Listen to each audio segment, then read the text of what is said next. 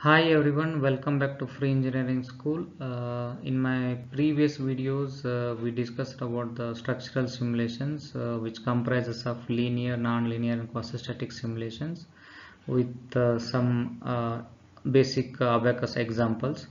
So in coming videos, we'll just go in deeper to understand what kind of material curve we can adopt for particular simulation and what are the element types can be used. So in today's agenda, we'll just uh, touch upon uh, engineering and uh, true stress strain. Uh, you, might have all know the basic stress strain curve and we just will discuss uh, once again.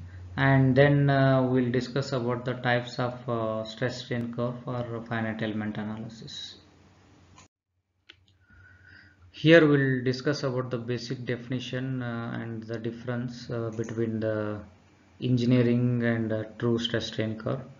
As you can see the standardized uh, stress strain curve from 0 to 1 we'll call it as a elastic zone where uh, whatever the load you apply uh, and leave and uh, leave the loop the, the, the component will comes to its original position later if you further uh, increase the load uh, it will start yielding like it will try to deform then uh, it will not comes to its original position and we'll call it as a, plasticization. So where uh, we'll get a permanent deformation of the particular component. This uh, origin 2 to 3 we'll call it as a strain hardening uh, where material can uh, withstand their capability before failure. Once it reaches the ultimate uh, strength point it will start uh, to go for fracture. Uh, this from point 3 to 4 we'll call it as a necking zone. So uh, beyond the ultimate strength if you apply the load uh, the material is going to uh, fail. Uh, the component is going to be fail. And here the basic Young's modulus formula will calculate based on the slope. That is rise by run we'll call it as a stress by strain and uh, in the second graph if you see the uh, true stress strain curve the the red line is uh, true stress strain curve and the blue is uh, engineering stress strain. So main difference between these two is uh, in the engineering stress we will consider the original cross sectional area for throughout the calculation of all the stress and uh, strain but uh, in the true stress strain we'll, we'll calculate with respect to the instantaneous uh, cross sectional area means uh, where the deformation will start we'll take that cross sectional area and we'll find out the stress and uh, with respect to stress and the strains. So by definition uh, uh, sorry uh, if you see the graph uh, between the true stress and engineering stress in the true stress obviously uh, the st stress level is very high because we will consider the instantaneous cross-sectional area. So the stress will be high and apparently the strain will reduce in the true stress strain as compared to engineering stress. By definition we can say uh, the stress is uh, directly proportional to the force upon uh, original cross sectional area and uh, in the engineering strain again the change in length uh, to the original length divided by original length that is uh, delta L by L naught. So coming to true stress the sigma t is the true stress we'll call it mentioned it by sigma t. And it is the the main uh, comparison we can take it and we can find the true stress strain curve uh, based on the engineering uh, stress values as well so here uh, the engineering stress uh, into 1 plus epsilon we can find out the true stress and likewise the for engineering strain we can uh, use a logarithmic of 1 plus epsilon so these are the basic strength of material formulas where we can find the true stress strain curve with uh, standardized uh, uh, engineering stress stress strain curve. So here we'll discuss about the various types of stress strain curve used for finite element analysis. There are five types. we'll, we'll discuss one by one uh, first one is uh, linear elastic uh, model uh, where as the name indicates we'll use the linear material properties uh, in the finite element analysis uh, so most of the cases will be uh, linear linearly linear elastic materials where uh, the convergence will be ease and based on the requirement will will draw on the Neuber rule uh, to find out the uh, failure zone. So we'll will take one more session to understand how we can build the model with respect to Neuberization to avoid the convergence issues for assembly level as well as uh, to to get uh, simulation in uh, very less time. So this is uh, all about the linear elastic model. In the simple uh, definition we'll use uh, only elastic material properties.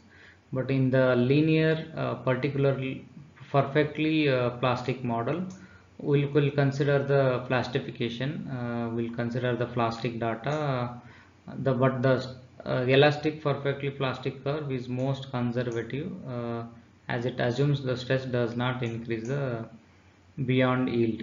So if you see this blue uh, line uh, after this uh, yield strength reached the, the the, the stress is completely uh, constant. It is not going to be changed. So this is the second type of uh, curve where we'll, we'll consider the yield but uh, it will be constant throughout the uh, analysis.